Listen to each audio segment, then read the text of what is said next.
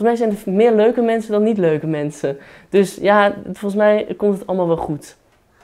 Ik ben Anton Noordink en ik um, ben kleermaker. Dit is mijn atelier. Ik denk dat de taak is van de politiek om ervoor te zorgen dat de jongere generatie um, uh, met, het, met, plezier, uh, met levenslust, uh, zo'n volgende fase ingaat. Ik ga stemmen op de PvdA en ik stem altijd op een vrouw.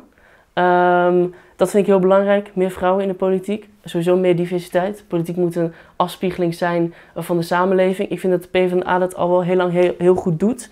Uh, om en om man-vrouw. Um, um, ja, dus PvdA en een vrouw. Is voor mij het belangrijkste. Ik vind Lodewijk Asscher best wel een... Uh, hij, is, hij is best wel een, rustige man. Een, best wel een gewone man, voor mijn gevoel. Ik denk dat het belangrijk is dat hij op die manier uh, doorgaat en vooral um, goed blijft uitleggen, veel met mensen praat.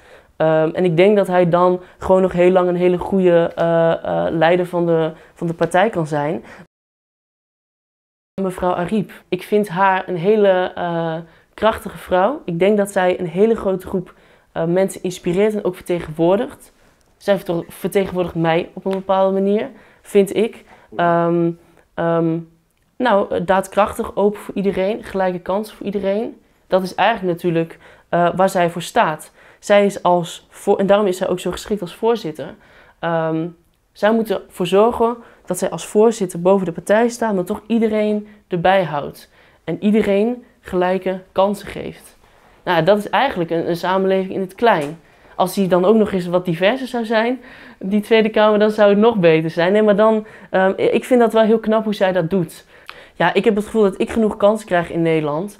Um, maar goed, um, ik heb geluk gehad. Want ik uh, heb uh, ouders die uh, allebei werkten, fijne ouders, die, waardoor ik studie kon doen. Waardoor ik op een gegeven moment financieel wat geholpen kon, dat ik een huisje kon, kon huren. Um, ik sta nu volledig op eigen benen, maar dat zijn zaken die heel erg belangrijk zijn. Uh, daarnaast, um, ik ben wit, dat scheelt ook. Ik ben een man. Um, ik ben in die zin geen minderheid.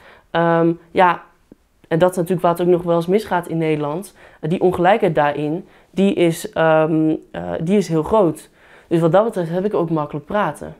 Er zijn gewoon heel veel leuke mensen, heel veel leuke jongeren. En ja, dat, dan komt het allemaal wel goed.